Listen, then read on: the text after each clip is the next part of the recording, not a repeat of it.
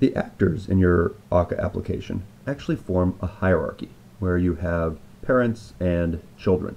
And this is very significant for how you should put together your applications and make the pieces work together. So far, in all of our examples, we have created actors by using the system actor of. But you can also make actors in other ways, and in particular you can make actors off of other actors. And so we want to write a, another example piece of code. And we'll call this the hierarchy example. Let's go ahead and copy our bit of code from our simple example and do an import. Okay. I'm going to make two types of actors here.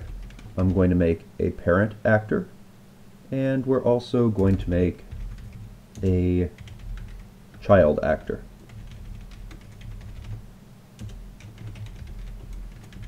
Once again, all of our actors extend actor and they will all be unhappy until we implement receive inside of them. Okay, and the receive has to have a case for something. Right now I'll just make it so that it catches everything and does nothing. And we'll make one parent actor here. We can call this parent 1. Now in a real application, the way in which you would uh, structure things in your hierarchy is you'd kind of break apart the functionality so that um, you know you have one segment of the work that's done in your application or or maybe you know maybe it's not just by work maybe it's by the structure. And you will create an actor that kind of oversees that. In fact we will talk in uh, a coming video about the fact that there's more to this hierarchy with parents and children than just the fact that, that they have this parent-child relationship. There's actually a supervisory nature and how you deal with bugs. So I want to add a new case class and actually this one is not going to be a case class, it'll be a case object because I don't really have any arguments for it. And I'm going to make it so this is something that we can tell the parent. We can tell the parent to create a new child. Okay. And what this is going to do is we are going to have the context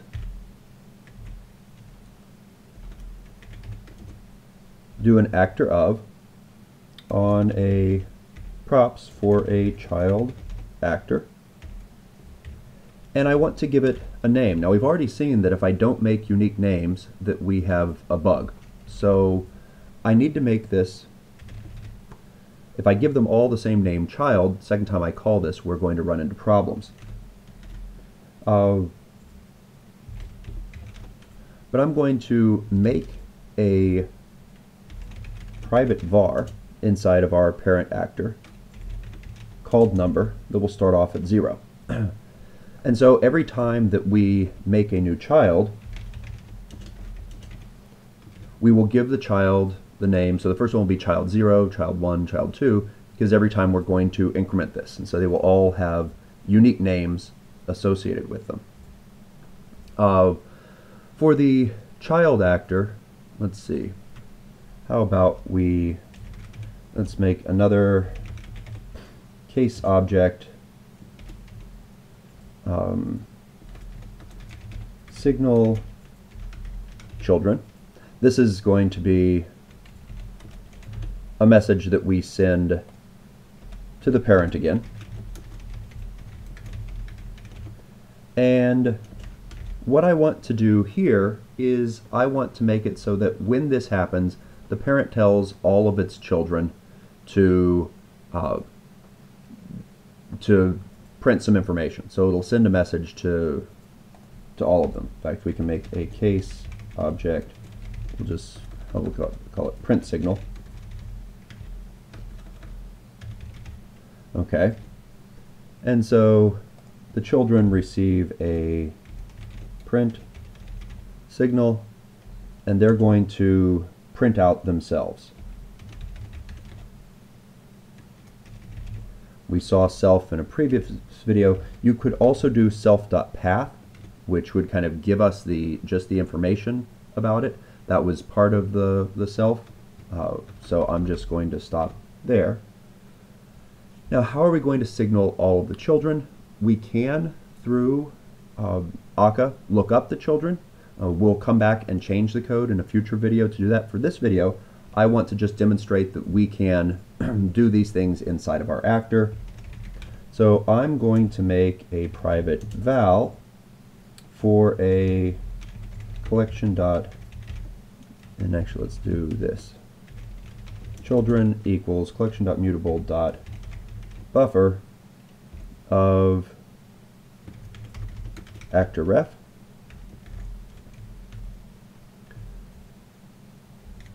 and we're going to add this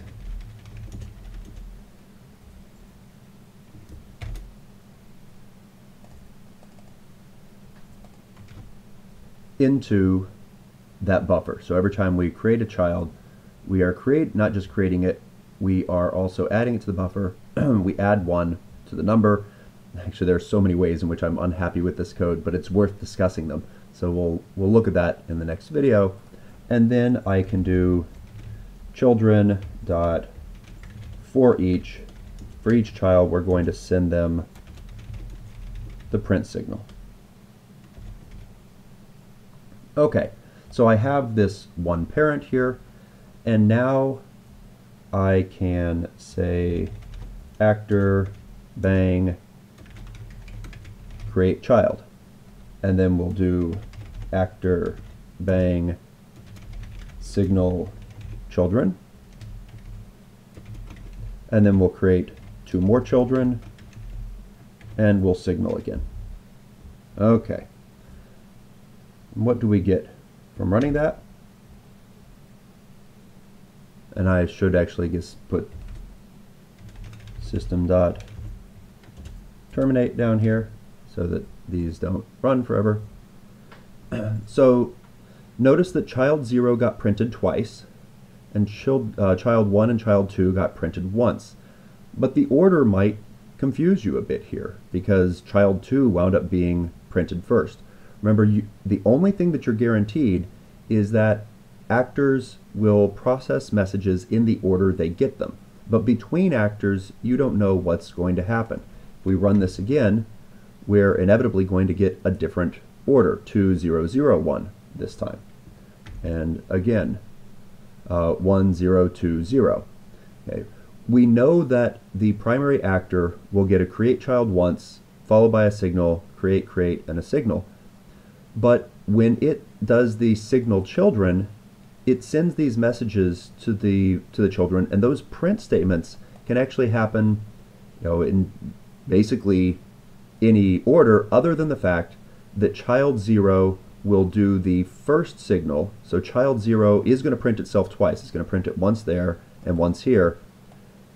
This one is going to be printed first because it will wind up getting this message before it gets the message from down here. Now we have no way to distinguish those two in, in our outputs, but you'll notice here that it's possible that child 0 will print after, so the, the print from this message can actually come after some of the prints for this message. It's just, it will come after, but only after the, the other children. Uh, if we added some more information, maybe if I made the signal children and the print signal case classes, we could differentiate that. Perhaps we'll come back uh, in the next video, like I said, I want to fix this in a number of ways, make it so that it's uh, doing things better. Right now there's too much duplicate information, and we can add that information so that we can tell that the first printing of child 0 is from the first signal instead of from the second one.